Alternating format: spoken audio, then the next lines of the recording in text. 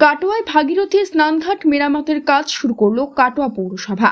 বিগত দু বছরে কাটোয়ায় ভাগীরথীর দেবরাজঘাট ও সতীশ সাহা ঘাটে স্নান করতে নেমে সাতজনের জলে ডুবে মৃত্যু ঘটেছে।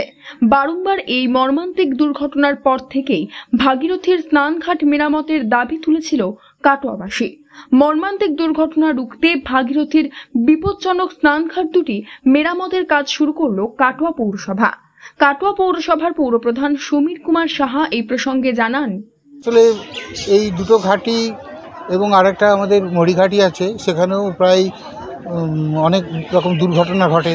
অনেকেই মারা গেছে, যার জন্য আমরা এটা সত্তর পৌরসভা থেকে এটা একটা তড়িঘড়ি একটা ব্যবস্থা নিয়ে এটাকে স্নানের ঘাটটাকে যাতে মানুষের কোনো রকম ডুবে যাওয়া না যেতে পারে, সেই ব্যবস্থাই আমরা করছি এবং তাতে অনেকটা জায়গায় মানে শিকল দিয়ে এটা ঘেরা থাকছে যাতে কোনো রকম কোনো ছেলেপিলে ওই বাইরে চলে না যায় এবং যাতে কোনো এই এই ঘাটে কোনো রকম দুর্ঘটনা না ঘটে।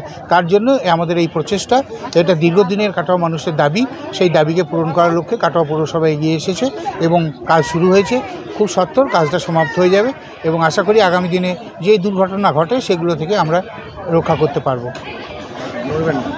যে ঘাট আছে তার সঙ্গে আরেকটা ধাপ দুটো তিনটে ধাপ বাড়িয়ে দেওয়া হচ্ছে যাতে কোনো রকম কোনো পুণ্যার্থী যারা এখানে স্নান করতে আসবেন, তারা যেন কোনো রকমভাবে জলের মধ্যে পড়ে না যান এবং চারিদিকটা কভার করে দেওয়া হচ্ছে। আমরা আশা করি যে আর কোনো দুর্ঘটনা ঘটবে বলে আমার মনে হয় না। পৌরসভা দীর্ঘদিন ধরে চেষ্টা করেছিলেন, তবে যাই হোক, এখন সেই কাজটা সম্পূর্ণ হচ্ছে। বাজারের ঘাটে আমরা কাজটা শুরু করেছি এবং আরও যে তিনটে ঘাট আছে, পরবর্তী পর্যায়ে সেই ঘাটগুলো কার্য শুরু হবে এবং দেবরাজ ঘাটে কাজও শুরু হয়ে গেছে। সুতরাং আশা করছি যে মানুষ যারা পুণ্যার্থী বহু দূর দূরান্ত থেকে পুণ্যার্থীরা এই গঙ্গা ঘাটে স্নান করতে আসে।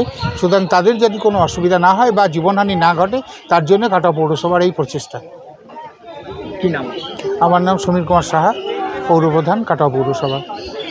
জানা যায় গ্রীষ্মে ভাগীরথী নদীর জল নেমে যাওয়ায় পুরসভা আপাতত শহরের দুটি বিপজ্জনক স্নানঘাটের সিঁড়ির নিচের দিকে বোল্ডার সহ শাল বল্লা দিয়ে বাধাইয়ের কাজ শুরু করেছে। স্নানঘাটের নিচে বোল্ডার সহ বল্লা দেওয়ার পর কংক্রিটের ঢালাই করে অতিরিক্ত সিঁড়ি তৈরি করে গার্ডওয়াল দেওয়া হবে বলে জানা গিয়েছে। ঘাটের শেষ সিঁড়ির নিচে ছিল গভীর গর্ত। সেই জন্য স্নান করতে আসা মানুষ আচমকায় গভীর জলে ডুবে তলিয়ে যেত। ঘাটের সিঁড়ির ধাপ বাড়িয়ে বোল্ডার দিয়ে গর্ত বুঝিয়ে দেওয়া হচ্ছে। এবার থেকে পূর্ণার্থীরা নদীর ঘাটে নির্ভয়ে স্নান করতে পারবে। Bureau report, news network seven.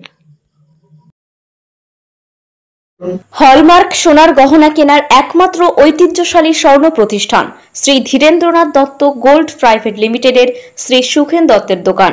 ঠিকানা কাছারি রোড, চৌরাস্তা, টেলিফোন ময়দান, কাটোয়া, পূর্ব বর্ধমান। কাটোয়া শহরের অন্যতম প্রাচীন ব্যবসায়ী প্রতিষ্ঠান, new Shri Gouranga tea store. প্রসিদ্ধ চা ব্যবসায়ী, খুচরো ও পাইকারি চায়ের এই প্রতিষ্ঠান শহরে প্রায় আশি বছর ধরে সুনামের সঙ্গে ব্যবসা করে চলেছে। ঠিকানা কাটোয়া স্টেশন বাজার চৌরাস্তা।